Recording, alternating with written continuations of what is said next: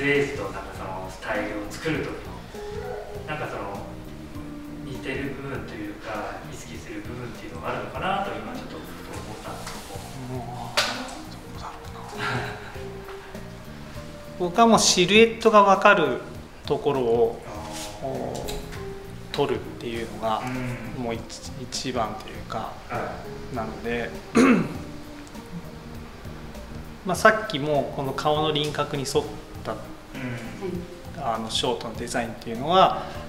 あのそこを一番として見せたい時はもう正面をとにかく取るとか、はい、横の頭の絶壁が悩みで後頭部を丸く見せたいっていう人がいるんだったらもう後頭部をとにかく綺麗に取るとかそういうところはあったりするんですけどそれで合ってますか？その本人の悩みによっても確かに変わってきますね。ここがちょっととんがってるよとか。ベタ後ろベタンと撮影する時ってなんかもうお客様の悩みベースで撮影する時もあるんですよ、はい、なのでこれだったらこの悩みを解消しそうだなとかっていう撮影に臨むっていうのはあるので。季節とかっていうのはまた別にはなってくるんですけど。佐藤さんは逆にねその北さんは360度基本割と見てる、はい、撮影する時って平面のはいそうですはい、あの関田さんとはちょっとその見方が変わってきてしまうというか、うん。はい、絵に写真に撮った時にどう写るかということを意識されると思うんですけれど、うんはい、一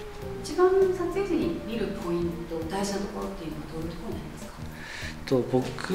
の場合だとそのヘアカタログ専門で撮影してるんでそのただ女の子が可愛かったらいいわけでは済まないんですよね。それなのでそのモデルさんが可愛く見えるっていうのはイコールその髪型も可愛く見えてるっていうことになってくるんですけどその髪型の部分でその、まあ、関田さんとお話にかぶってくるとは思うんですけどその輪郭の部分ですよね。そこの形があの美容師さんがどういうふうに見せたい形なのかっていう部分があの伝わるようにっていうのは意識をしてるんですけどもその作ってる時は360度、ね、立体型に見えるんですけど写真の場合は本当に平面になるっていうことはあの前後が写真だとなくなってくるんですよね。なので手前の髪の毛とその後ろにある髪の毛とまたさらにその後ろにある髪の毛がその圧縮された状態であの正面から感じないといけないんですよ。そうするとそのどこの髪の毛とどこの髪の毛とどこの髪の毛があの重なって見えた時に外側の輪郭がどういうふうに見えるだろうっていうことをあの実際のモデルさんを目の前にした時にも感じられるように意識するっていうのはあの常に考えてるところでそのなんかここ一箇所だけ飛び出てるなっ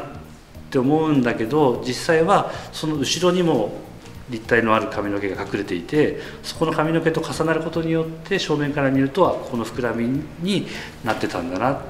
ていうあの結果があったりするんですよよく。なのでそこの前後の髪の毛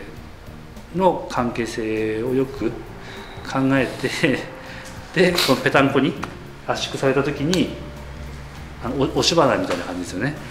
うん、押し花みたいにこのペタってされた時にあここの膨らみは実はここにこういう輪郭を表現表現するための膨らみだったんだなっていうところをあの考えられるように、うん、意識はしてますね。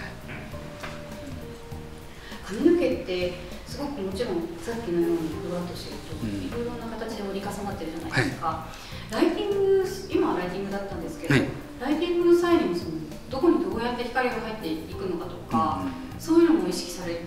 ますかライティングの部分になるとその髪の毛だけじゃなくてその肌だったりとかあとメイクの色味だったりとかあと衣装の色とかも含めてのライティングになってきて、まあ、髪の毛だけのためにライティングをするっていうほどでもないかもしれないですね。いろいろな要素をいっぺんにそなきゃいけないんですね。だからその光が当たってる側の顔のほっぺたとかが一番明るくなりやすいじゃないですか。そこに当たる量だったりとか質感だったりとかっていうのをあのうまくバランス取れると、まあ、全体的には成り行きで綺麗に取れてるってことが多いですかね、まあ、顔周り全体ですかね。どっちかっていうと衣装とかは成り行きで飛んじゃってるとかっていうのは部屋方だとありだったりとかすることが多くて、うん、だから僕が衣装の洋服屋さんの仕事をすると明るすぎる明るすぎるって怒られることが、うん、結構あって。でもっと暗く撮っといてって言われることは結構ありますね。だけどそそれで慣れてるから僕がそれ見るとこう、ま、こんな真っ暗な写真かって感じる時もあったりとかして、うん、顔のハイライトほっぺたのハイライトの明るさをギリギリまで明るくするとやっぱり衣装は飛び気味になることが多いですけど、まあ、衣装を見せるカタログじゃないから、まあ、そこは成り行きで飛んでてもいいかなっていう。で顔のほっぺたの明るさに調整すると成り行きで髪の毛の色も結構綺麗に見えてるってことが多いかなっていうところですかね。ここですね。ここの見えがこのこのほっぺたの一番高いところがハイライト飛んでると思うんですけど、ここがギリギリにしとくって感じですかね、うん、確かに髪もちゃんと後ろのこう細いところも全部映ってますもんね、うん、ここがギリギリになってれば、まあ、この辺は飛び気味だけど。洋服もギリギリ残ってますよね、うん、まあここが残ってればいいかなって感じですかね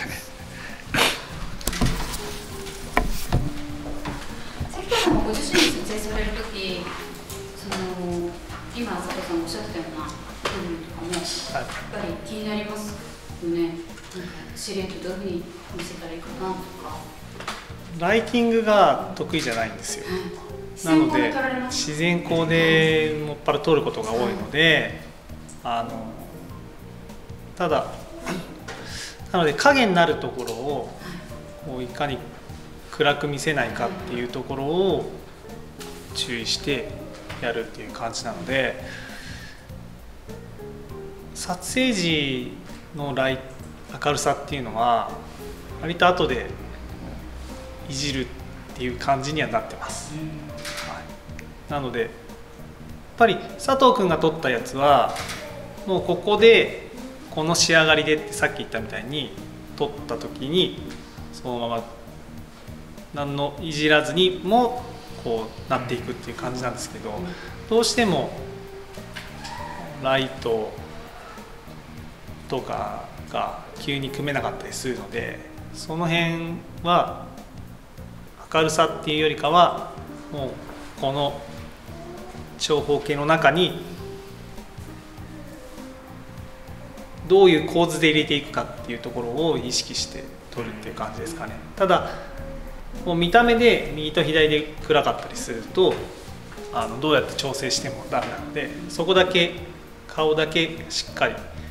明るさを合わせるようにっていうのはしてます。だからこの頬の出っ張っていうところが白くなればいいとかは